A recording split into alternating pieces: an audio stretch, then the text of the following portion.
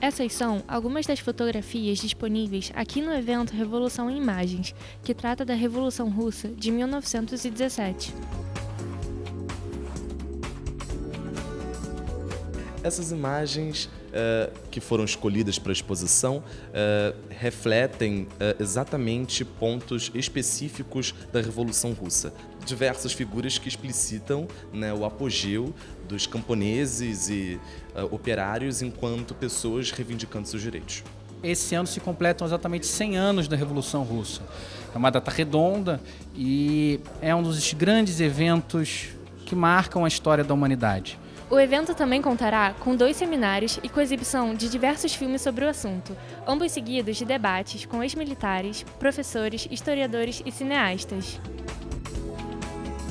Todas as quartas-feiras do mês de, de maio e junho são nas quartas-feiras são denominadas quartas vermelhas, em que são feitos debates com a partir de filmes, filmes alusivos ao tema.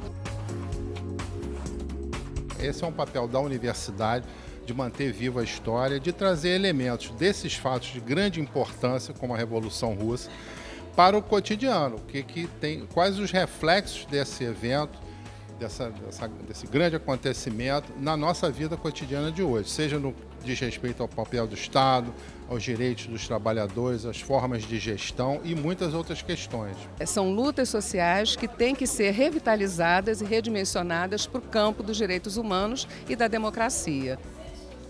Já começou a cerimônia de inauguração do evento. Você pode conferir toda a programação de Revolução em Imagens aqui na descrição do vídeo. Eu sou Natália Couto, para o TJUFRJ.